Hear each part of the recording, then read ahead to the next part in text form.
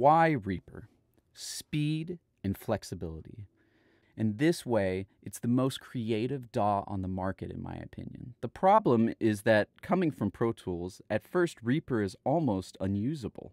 And that's why I created this website. It's a set of tools that, when imported, makes Reaper function like Pro Tools. And that means that you can have all the functionality and power of Reaper in an environment that you're used to, like Pro Tools. And I just want to go over a few key features of why Reaper is so powerful. Tab Sessions, an incredible feature that lets you open multiple sessions, full on sessions at once. If you're working on one session and just want to bring in a few elements from this other session, you just copy, go to your other tab session, and paste.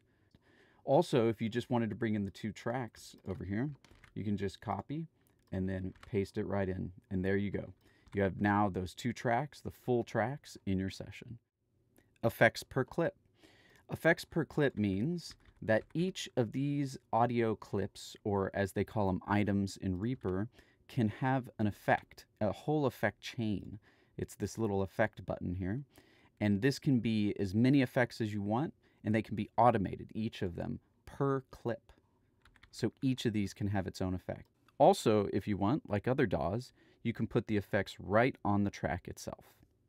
Tracks are channel agnostic. So as you can see here, we have a 5.1 channel clip. We have a mono clip, and we also have a stereo clip, all on one track. Super flexible, Pro Tools, eat your heart out. Exporting. So exporting in Reaper is actually pretty amazing in that you have a lot of options. You can do the main mix, you can do stems, you can do um, items, like selected items, and also you can have presets here. So I have a preset for monos, for stereo, for surround, and that sets all of these up so you never have to look at this again, which is incredible. Also, um, the file name can have wildcards. You can name it by the item, by the project, by the track, and that can be all associated with whatever file name you want. Also, just an incredible little feature it has when you render this file, it brings up this render box, and right here, Show in Finder is brilliant. You can just press this button and it shows you exactly where your file is. I hate that in Pro Tools, I can't ever find my files. Some of the built-in features are really awesome, like reverse. Reverse isn't a box that you have to get. You can just have it at a press of a button. Also, normalize. You can have at a press of a button. Downmix to mono, press of a button. You can also then go back and go into channel settings and then put it to normal or just get the left or the right. Those little features to me make this DAW so fun and easy to work with. The actions list. So the actions list is this little list here that shows every action in the DAW. That includes preferences or tools or customization. It's all in here. So if you wanted to find something like normalize, you just type in there and you find all of the features in Reaper that normalize. This is a very efficient way to find whatever you need within Reaper and get to it fast so that you can get back to being creative and editing. Macros is in the actions list, and macros is basically a list of actions that you can have that is combined together, put to a key binding. So, for instance, this is actually a macro, this A button.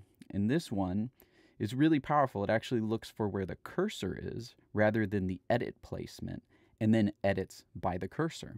So this, um, like in Pro Tools, if you click here and then press the A key, it'll cut there. But unlike Pro Tools, I set it up through a macro in Reaper that every time I press A, it's based on wherever the mouse cursor is rather than the edit placement. Really powerful. Subsessions. I love subsessions. I use them all the time. They're great for game audio, for organization, for exporting files. It's a great feature within Reaper. So let's say I just want these two tracks and I want to make this a subsession. I press the subsession button, which is a script I wrote, but um, pretty easy to make a subsession. In my script, I copy over the video track and I also copy over the routing so that it's easy to play a sound. So this is our subsession. Our subsession is a session, it's a full out session with all of the elements, but then when you save it, I'll make it stereo. Then when you save it, you go back to your original session, and there you go. It looks like an item or a clip. So all you have to do is then put in some silence, uh, cutting out the silence, and there you go. You got your four assets for the game. Then I can rename this. I'll just say name 01020304. There we go. And you're ready to export this for the game.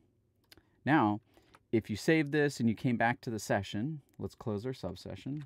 We already saved it, so it's closed.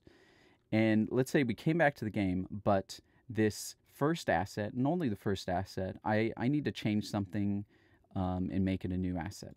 So I can double click, it opens the session back up, put a little fade on that, there we go, and then save it. So now that asset has changed. I've re-rendered it, and this subsession changes automatically on the re-render. And it kept the name. So all I have to do is export this one file. I don't have to rename it. I don't have to re-edit it there it is. It's amazing.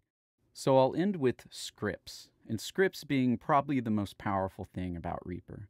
And that's it's basically whatever you could imagine you can do with scripting.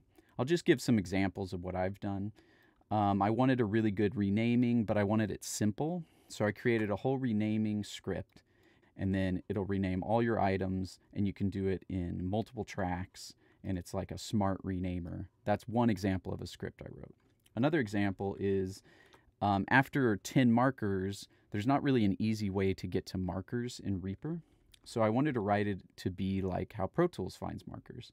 So you press dot, you press one, and it'll go to whatever that wherever that marker is. Press three, goes to three. But also I made it a little better in that if you can see this marker has a name on it called name. So I wanted to be able to do dot and then just type in name and it goes to that marker as well. So it can go to marker by the number or by the name. So those are examples. So I hope this gave you some examples of why Reaper is so exciting and powerful, especially as a sound designer where creativity is king and you want the technology to get out of your way. So take a look at my website. I'm hoping that you can check out Reaper and get up and running fast so that you can then unlock the possibilities of creativity within the fastest and most flexible DAW on the market.